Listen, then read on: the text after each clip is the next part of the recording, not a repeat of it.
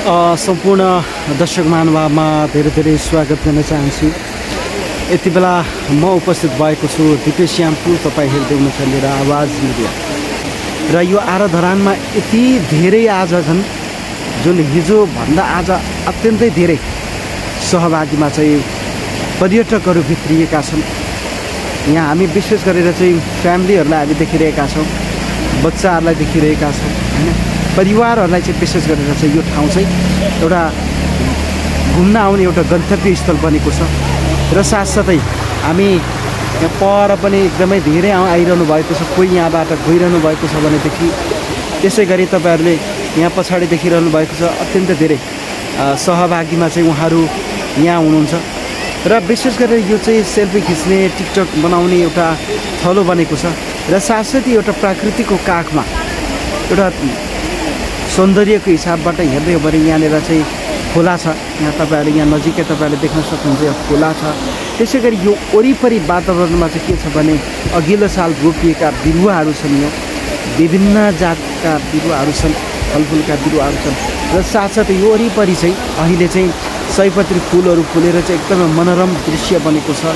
एकदमै सौन्दर्यकरण चाहिँ यो अहिले फुलेका यो सयपत्रीका फुलहरूले पनि देखाएको छ देखिएको छ। त्यसो भएको हुनाले गर्दाखेरि पनि धेरैभन्दा धेरै यहाँ चाहिँ पर्यटकहरू चाहिँ यहाँ आउने गर्नुहुन्छ। पछिल्लो समय अझ सामाजिक सञ्जालमा प्रसार प्रसार भएको कारणले गर्दाखेरि धरानभन्दा बाहिरका चाहिँ पर्यटकहरू पनि यस स्थानमा आएर चाहिँ यहाँको आनन्द यहाँको इन्जोय लिएर चाहिँ उहाँहरू जानुहुन्छ दर्शनमा यसरी आउने क्रममा हुनुहुन्छ। यति बेला यहाँ देख्न सक्छौँ। धेरैजना एकाग्र भएर चाहिँ यति बेला उहाँहरू हेरिरहनु भएको छ कतिपयलाई चाहिँ कस्तो बनेछ त यो अचम्म छ त। यो साइडमा यसरी ड्रेनहरू पनि छन् पाइपहरू पनि छ पानी पनि बगिरहेको छ।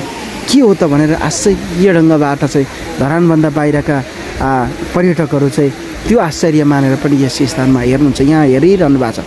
यहाँ तपाईँहरूले देख्न सक्नुहुन्छ नि। यहाँ हेरिरहनु भएको छ हेर्नुहोस् है। हेरिरहनु भएको छ। निकै आश्चर्य भएर चाहिँ हेरिरहनु भएको छ। यहाँ हाम्रा रोजन राईलाई हामी देख्न सक्छौँ। चर्चित मूर्तिकार रोजन राई अनि बच्चाहरूलाई यहाँ देख्न सक्छौँ। निकै बच्चाहरूलाई पनि आश्चर्य ढङ्गबाट हेरिरहनु भएको छ।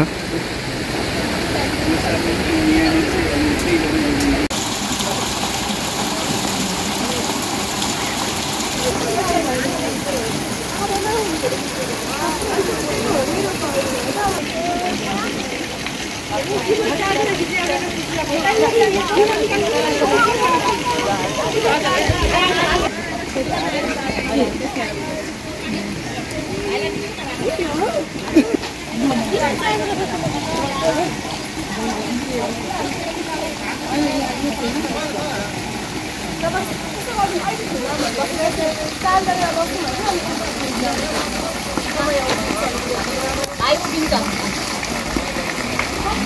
Hãy subscribe cho kênh Ghiền Mì Gõ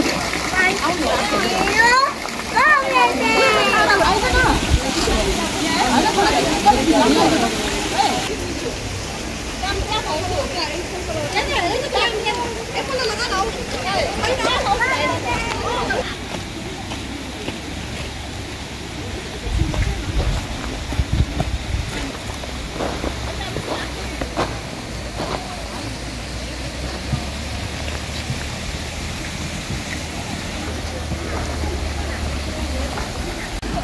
यहाँ चाहिँ तपाईँहरूले एउटा खाल्डा देखिरहनु भएको छ यहाँ यो किन होला भनेर फेरि तपाईँहरूले मनमा प्रश्नहरू उब्जिरहेको होला।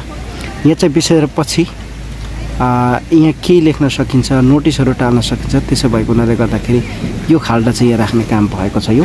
यो सबै कङ्क्रिटको छ यो चाहिँ। सबै कङ्क्रिटको छ। यो मुर्गामा चाहिँ जुन यो वरिपरिबाट चाहिँ कभर गरिएको छ ढुङ्गाले भित्र चाहिँ एउटा ड्रम राखिएको छ। अनि यसरी यो फुल पनि राख्ने काम गरिएको छ।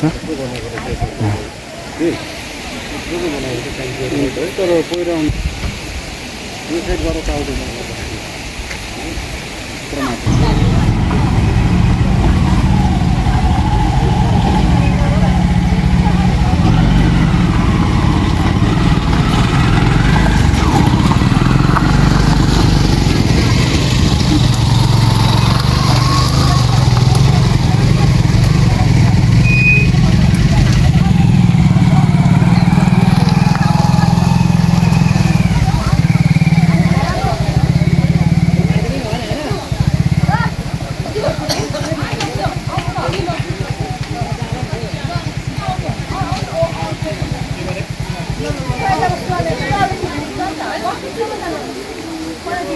अब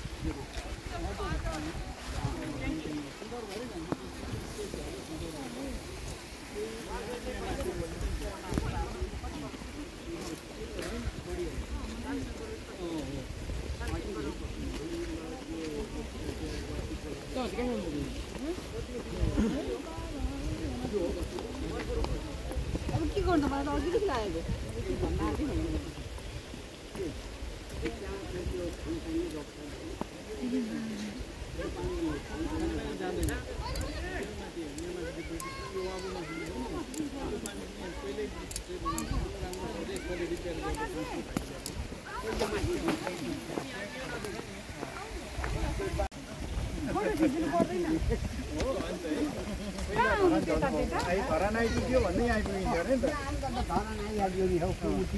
धरानको बजार चाहिँ खास यो थियो रहेछ होइन उता फर्केर भनिदिनु पर्ने उसले हिँड्नु हिँड्नु भयो यो बाटो? यो बाटोमा धेरै खेप हिँडेको। नुन बोक्नु बोक्नु भयो कि भएन। नुन चाहिँ अलिक थोरै बोकेँ। बोक्नु चाहिँ बोक्नु भयो बोक्न त बोकेँ। दुई खेप बोकेँ नुन। यो बाटो। यो बाटोबाट यो नुन बोकेर कहाँ पुर्याउनु हुन्थ्यो तपाईँले तेह्रसम्म पुर्याउँथे तेह्रथुम। यही बाटो हो? यही बाटो हो। यो उकालो गयो अनि सागुडीगढी। हजुर? सागुडीगढीसम्म निस्क्यो। अँ साँगुरी गढी त्यहाँबाट तल फेबी गयो अनि तम्बरको गर्तिरै गर्तिर गर्तिरै गर्तिर गएर लुम्बु घाटबाट उँभो अडेर अनि तेह्रसम्म कति दिनमा पुग्नुहुन्थ्यो? तिन दिन चार दिन। तिन दिन चार दिन अब भारी कस्तो हुन्छ अनि धेरै भारी छ भने चार दिन लाग्थ्यो। होइन हल्का हो भने दुई दिनमा पुगिन्छ भनेपछि कति वर्षको उमेरमा हिँड्नु भएको यहाँ खास? म सबैभन्दा पहिली हिँडेको भनेको यो बाटो बाइस सालमा म एघार दुई ठ्याक्कै एघार वर्षको उमेरमा। एघार वर्षको तपाईँ है? यो सबै त्यो माथिको ढुङ्गाले यो सबै छाला लगिरहेछ नि हौ। जुत्ता दिएन चप्पल दिएन। त्यति बेला थिएन। केही दिएन। यो डाँडातिर गिङ्री खालको औ त्यो माथिको ढुङ्गाले हो हो हो। सबै लगिरहेको थियो आज यहाँ पुर्खाहरू पनि देखियो होइन? पुर्खा देख्यो। अँ, आएर धरान पुर्खा देख्यो। खास राख्नुको इतिहास। कारण चाहिँ। धरान कसरी नाम बस्यो भन्ने सवालमा चाहिँ खास यो राखियो होला यो राख्यो। धरानको इतिहास यो हो। के छ अब? तुङबा सुङबा बोकेर आउनुभयो कि? दिनु पऱ्यो नि यो त गल्यो होला धेरै दिन भइसक्यो। हो अब यसलाई त तोङ्बा सुङ्बा त अब हामी तोङ्बा नखाने त के ल्याउने यसो पानी सानी ल्याउनु पऱ्यो नि खाजा पानी चिउरा होइन?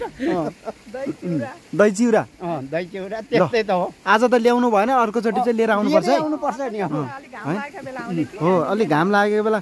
काटेका काटेकै छन्? काटेको काटेर छन् अँ हेर्नु त। है? है? अघि भन्दै हुनुहुन्थ्यो। तुङमा ल्याइदिनु पर्ने रहेछ भने छनक्क म सुनिरहेको थिएँ त्यही भएर मैले कुरा उठाएको। उहाँ। भन्दै हुनुहुन्थ्यो। है कसरी ठ्याक्कै त्यो दिमागमा आयो भनिदिनु न उहाँले। होइन अब हामीले पनि यसरी काठ कटाएको थियो त्यतिखेर हामीहरू नखाए पनि अरू खाने मार्फत चाहिँ खुवाएको हो। खुवाएको खाजा। खाजा। खाजाको रूपमा खाने चलन थियो नि त होइन? खाजाको रूपमा थियो। अङ्कल आन्टी भन्थे अनि लु अलिअलि खाउँ न भन्थ्यो कि? हुँदैन। अनि ए ल्याइदेऊ न हौ त्यहाँ हाम्रो काम गर्ने मान्छेलाई लगिदेऊ न भन्थ्यौँ अनि लगेर दिन्थे। खान खान्थे हुँदो त्यही भएर ठ्याक्कै त्यही सम्झना आयो क्या हो आयो नि। होइन? यो आरा काट्दै गरेको देख्दाखेरि चाहिँ। आएर काट्दै गरेको। कसैलाई त बोलाउनु पनि हुन्छ। ऊ त्यहाँदेखि होइन? उम्, बुढापाकाएर आउनुहुन्छ होइन? ए भयो। अब त कमसेकम बिसाओ न धेरै दिन भइसक्यो। कतिकै काटेको काटेकै गरेको। कसैले त भन्छ यो मुडो अस्तिदेखि नै काटेको हो सक्याएर हिँड्छ भन्छन्।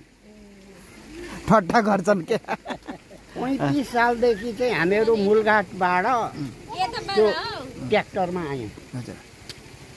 पैँतिस साल। पैँतिस सालमा। मूलघाटमा ट्र्याक्टर चल्न थालेको थियो यो बाटो बनियो पैँतिस सालमा। अँ, पैँतिस सालमा धनकुटा धरान रोड। त्यस पछाडि यो बाटो हिँड्न छोड्नुभयो अँ, अनि चाहिँ हिँड्न छोड्यो। यो। लगभग बाइस सालदेखि म तिन चार खेप चाहिँ हिँडेँ यो बाटो। अठाइस सालमा हिँडेँ। नुन बोकेर चाहिँ अठाइस सालमा हिँडेँ। किनभने एसएलसी दिएर घरबाट अब काम स्कुल छुट्टी भयो। हो।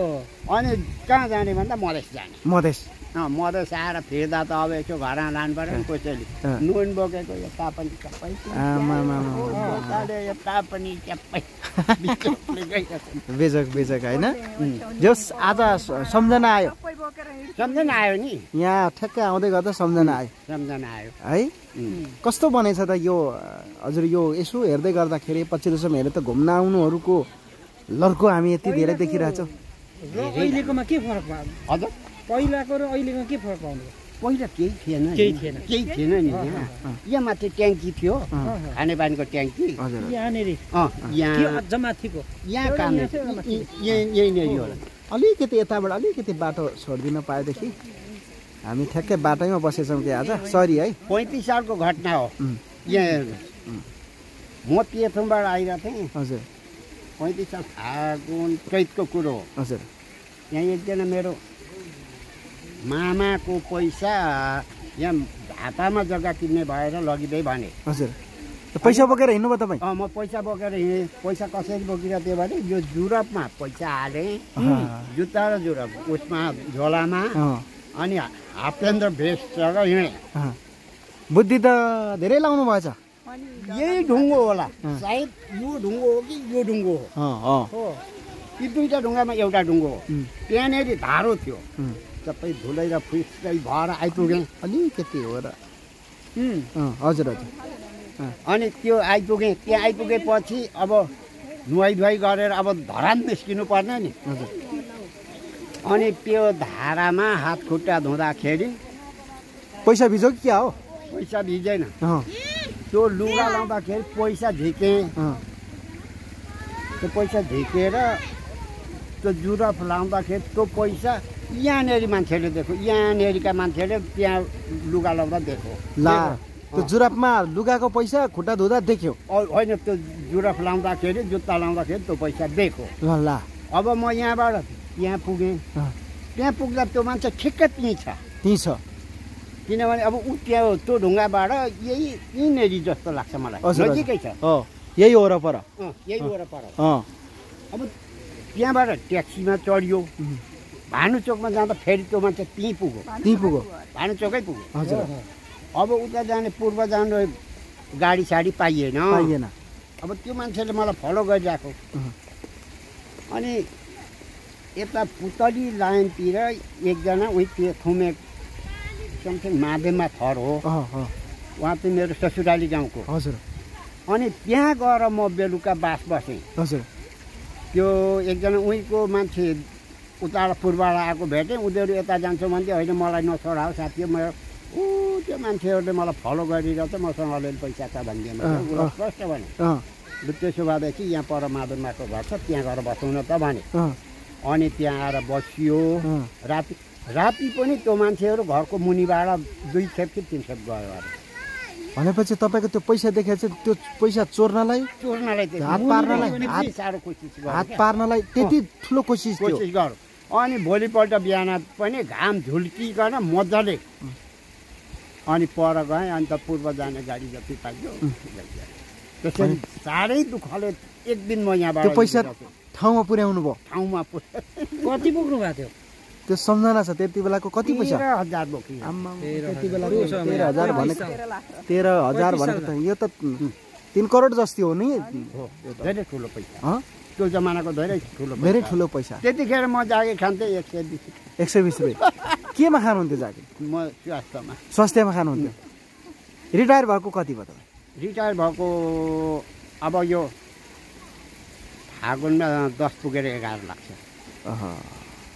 समयमै तपाईँले जागिर खाएर रिटायर भइसक्नु एकचालिस वर्ष जागिर खाएको। एकचालिस वर्ष खानुभयो। अनि ठुलो खानुभयो। यो नातिनी जन्मिएपछि रिटायर पनि भइयो तीर्थमबाट धरान पनि आइयो। अहिले धरान कतिमा बस्नुहुन्छ? धरान सोह्र सोह्रमा बस्नुहुन्छ। हजुरको नाम? मेरो नाम शिवप्रसाद अधिकारी। उहाँ आमाको नाम? गीता देवी अधिकारी। बाबुको? तेजस्वी अधिकारी। आज बच्चाहरूलाई लिएर आउनुभयो? आफै बच्चा- पनि? बच्चा छोरो बुहारी आइरहेको कतिको अलिक यहाँ शान्त वातावरण रिफ्रेसमेन्ट हुने रहेछ यहाँ? हो। रिफ्रेस हुन्छ यहाँ? होइन हाम्रो छोरा बुहारी होइन अब यहाँ घुम्न तपाईँहरू मात्रै पनि जानुहुन्न सबैजना भेला भएका बेला जाउँ भने लुजाउँ न त आज आज आजको घुमाइ समय खर्च भएको जस्तो भएन। एकदम फ्रेस। फ्रेस भयो होइन हस् धेरै धेरै धन्यवाद। ल। जमानाको कथा पनि सुनाउनु भयो एकछिन होइन? जमानाको कथा सुनाउनु भयो साँच्चै रमाइलो पनि लाग्यो। उहाँ चाहिँ यो बाटो जमानामा हेर्नु हुँदो रहेछ। त्यति बेलाको एक किसिमको त्यो हुन्छ नि घटनाक्रम पनि उहाँले सुनाउनु दर्शक महानुभाव र अब भन्ने चाहिँ बेलुकी भइसकेको छ रात पर्न पर्न आँटेको छ। त्यसो भएको हुनाले गर्दाखेरि अब भने चाहिँ यहाँबाट आउनुहुने जति पनि हुनुहुन्छ उहाँहरू यहाँबाट फर्किँदै हुनुहुन्छ।